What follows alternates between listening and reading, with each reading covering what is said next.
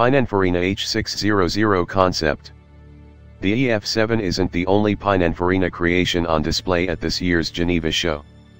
The company has also revealed the results of its multimillion dollar deal with Hybrid Kinetic Group to design a car. The car is the H600, and it's a very elegant, if not the most original, sedan. It also has a hybrid powertrain that Pininfarina claims makes over 800 horsepower. Let's get the low point out of the way.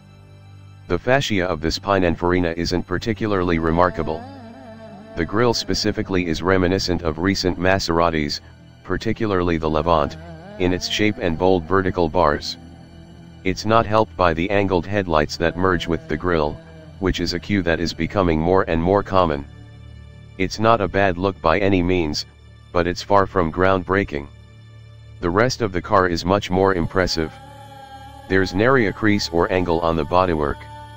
Everything is just long, graceful curves flowing in and out of each other. It's actually rather refreshing in a world where designers are trying to fit more and more textures and surface treatments onto cars.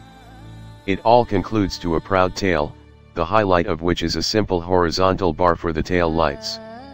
Inside, the car continues the elegant feel with rich, dark brown leather everywhere. And where there isn't leather, there is similarly dark wood veneers. The seats themselves have a distinct mid-century look that seem inspired by the famous Eames lounge chair and ottoman.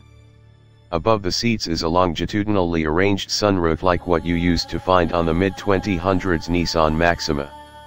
It is transparent during the day, and then illuminates at night.